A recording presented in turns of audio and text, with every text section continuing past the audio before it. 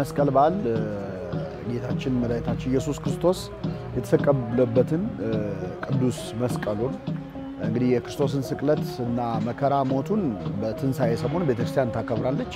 በአንጻሩ ደግሞ የተሰቀለበትን የክርስቶስ መስቀል ደሙ የፈሰሰበትን መከራ የተቀበለበትን የመስቀሉን ታሪክና ተያያዥ ነገሮች ደግሞ የምናነሳበት በዓል የመስቀል በዓል ነው።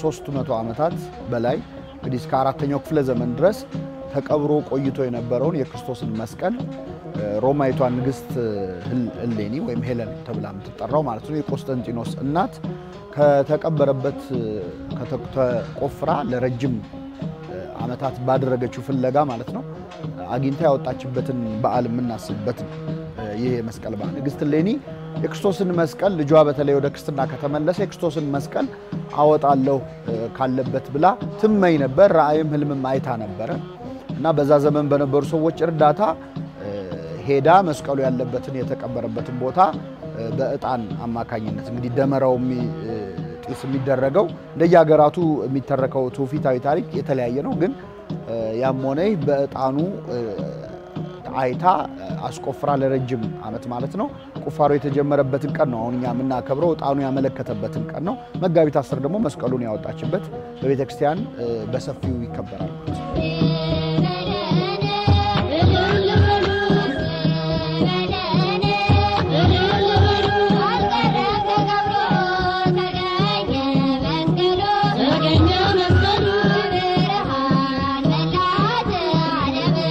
ኢትዮጵያ ከሌሎች ሀገራት በተለየ ደግሞ ከመስቀል የመስቀልን በዓል የበለጠ ለማክበር ምክንያት የሚሆናት ታሪክ ከመስቀሉ አካል ክርስቶስ ከተሰቀለበት መስቀል መካከል ግማደ መስቀሉ ማለት ነው በኢትዮጵያ መምጣቱ ነው። በአፄ ዳዊት ዘመነ መንግስት በ14ኛው ክፍለ ዘመን ማለት ነው። መስቀልን በዓመት አንዴ ብቻ ሳይሆን በአጠቃላይ በመላው ኢትዮጵያ በባህል ውስጥ መስቀል አለ። በአንገት ከምናደርገው ማተብ ጀምሮ በግንባራቸው እና በሰውነታቸው መስቀል እስከ መነቀስ የሚደርስ የክርስቶስ መስቀል ፍቅር አለ። በጥንት ነገስታት ገብረ መስቀል፣ መስቀል ክብራ የተባሉ በመስቀል ስም ሁሉ የሚጠሩ ሰዎች ነበሩ። አሁንም ድረስ ከመስቀል ጋር የተያያዘ ስም ያላቸው ኢትዮጵያውያን አሉ። በማንኛውም ነገር ውስጥ እንግዲህ የመስቀሉ ፍቅር እንደሚታይ ያሳያል። ከዛ ባሻገር በባህላዊ ልብስም ስናይ በጣም የተዋበ ዲዛይን አንዱ የመስቀል ባህላዊ ጥልፍ የሚሰሩ ሰዎች መስቀሉን እጅግ አስውበው ማራኪ አድርገው ይሰራሉ። በብዙ መልኩ መስቀሉ በባህሉ ውስጥ አለ። መስቀል በዓል ከሰሜን ኢትዮጵያ እስከ ደቡብ ኢትዮጵያ ከምስራቅ እስከ ምዕራብ የሚከበር ባህል ነው። በጣም የሚገርመው እንደየአካባቢው ደግሞ የየራሱ ለየት ያለ ነገር አለ። ይህ እንግዲህ የሚያሳየው በራሳቸው ባህል በራሳቸው ቋንቋና ታሪክ ቅርጽ አስይዘውት የሚያከብሩት አንድ በዓል በመላው ኢትዮጵያ አለ ማለት ነው።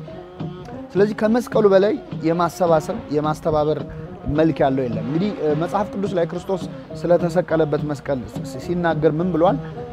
ከምድር ከፍ ብዬ በተሰቀልኩኝ ጊዜ ሁሉን ወደ እኔ ስባለሁ ብሏል። ሁሉን ወደ እኔ ሰበስባለሁ። ስለዚህ ለዚህ ነው መስቀል አበባ ተብሎ የሚጠራው። አበባ ንቦችን እንደሚስብ መስቀል ላይ ክርስቶስ ሁሉን የሳበበት ነው።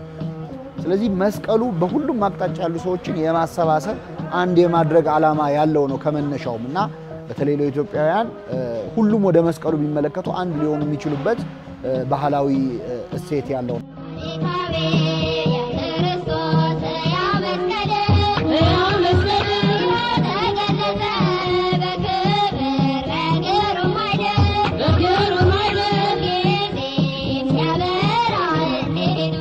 ንግሥት እሌኒ ለዛ ለ300 ዓመታት ያህል የተቀበረውን መስቀል ለማውጣት የሄደችበት መንገድ አሁን ላለንበት ዘመን በጣም ትምህርት የሚሰጥ ነው።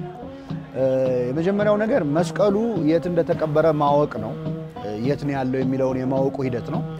ያንን ለማድረግ የሄደችበት መንገድ በኋላ ኪራኮስ ተብሎ ክርስቲያን ሲሆን ኪራኮስ ማለት ኪሪዮስ ማለት ጌታ ነው በክርስቶስ ስም የተሰየመ በፊት ግን ይሁዳ የሚባል ስም የነበረው አይሁዳዊ ሽማግሌ ጠርታ ጠየቀች።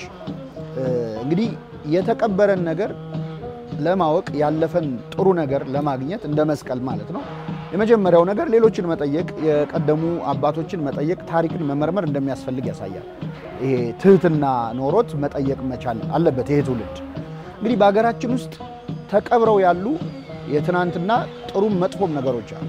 አሁን ብዙ ሰዎች የወንበዴውን መስቀል ቆፍረው የሚያወጡ አሉ። ክፉ ነገሮችን የትናንትን ቂም የትናንትን ቁርሾ እየጎተት ከምታወጣ ከሆነ ያወጣኸው የሚያድንህን መስቀል አይደለም። የሚገልህን መስቀል የሚያፋጭህን መስቀል የወንበዴውን መስቀል ነው ማለት ነው እና በሀገራችን ታሪክ ውስጥ በጎ ገጽታዎች ደግሞ አሉ። አሁን ላለው ትውልድ ታሪክነታቸው inspiration መሆን የሚችሉ ሊያፋቅሩን የሚችሉ አንድ ሊያደርጉን የሚችሉ ያ እውነተኛው መስቀል ነው። ስለዚህ የግራው ወንበዴ መስቀል ላይ ወይ የቀኝ ወንበዴ መስቀል ላይ ጊዜ ማጥፋት የለብንም በመቆፈር ማለት ነው። እሌኒ ምንድን ያደረገችው? ከሶስቱ የትኛው ነው የሚፈውሰው የሚለውን ህሙማንን አምጥተው ችግር ያለባቸውን አይነ ስውራንን የማይሰሙትን አምጥተው አስቀመጡ። መስቀሉ ሲያበራ ሲፈውስ፣ ይሄ እውነተኛው መስቀል ነው። ከትናንት ታሪኮቻችን ውስጥ ሊፈውሱን የሚችሉ ታሪኮች አሉ።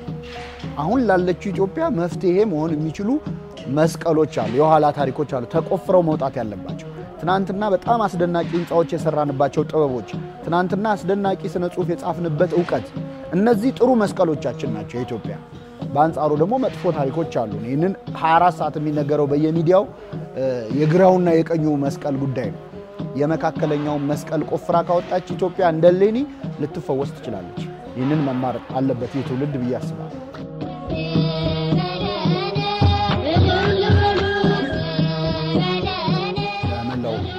ክርስቲያኖች መልካም የመስቀል በዓል፣ ለመላው ኢትዮጵያውያን ደግሞ መልካም አዲስ ዘመን